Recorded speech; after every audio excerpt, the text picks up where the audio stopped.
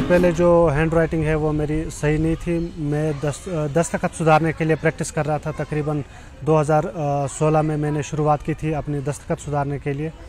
तो मुझे कोई अंदाज़ा नहीं था कि मुझे आगे ये काम करना है, लेकिन जब मैंने अपने दस्तखत सुधारने की कोशिश की तो बाद में जब मेरा दस्तखत सुधर गया तो फिर मैंने फ़ैसला किया कि मुझे इसमें मेहनत करनी चाहिए तो इस फ़ील्ड में मुझे काम करना चाहिए।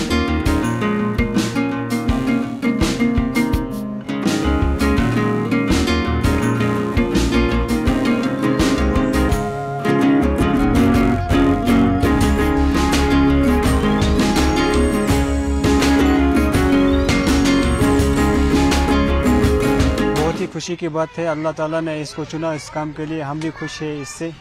तो इसको करीबन तीन महीने राइटिंग में लिख, लगने, लिखने को। और एक महीने में इसने जो कुरान की बॉर्डर है वो बनाई है।